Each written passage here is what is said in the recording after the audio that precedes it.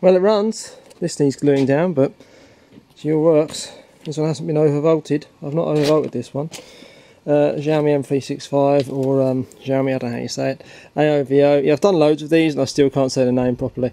Uh, this one was particularly beat up, but um, it does all work. Handlebars are not quite straight in relation with the front wheel.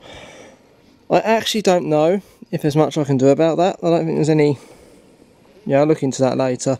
Um, I think something's twisted slightly. Um, it all seems solid, but there's no cracks in the actual deck or anything like that, so I'm not sure. It might be these bolts here have enough clearance in them that that causes it to be on. You wouldn't think so, but a small movement down there, moved across the length of the handlebar. Yeah, could could well be the case. Um, of course, they've always they always forget to put these ones in. They never put those bolts in. I have no idea why. Um, you want to put all of them in, really. Yeah, how out of alignment are those? Oh yeah, they're pretty out of alignment, so that's probably what the problem is. Um, yeah, it does all run. This one has cruise control, so I've got to be real careful. It needs a new mudguard, the one that's on it's totally duffed. And no, I'm not using GoPro because it kind of died. Got put through the washing machine by accident.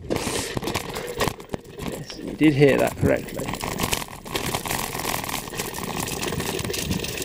This is actually quite difficult to film.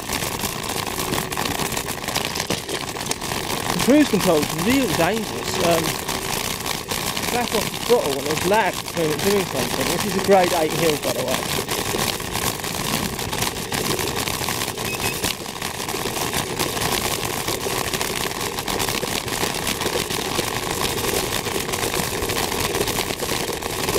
Doing 23 kilometres hour uphill.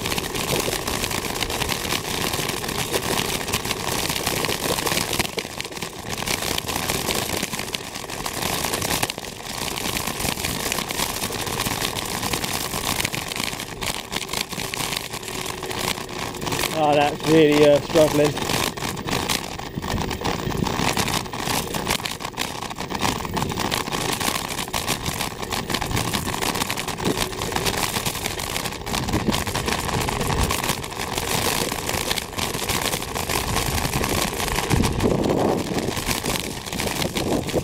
yeah, that concludes what's probably going to be a very shaky video. Thank you for watching.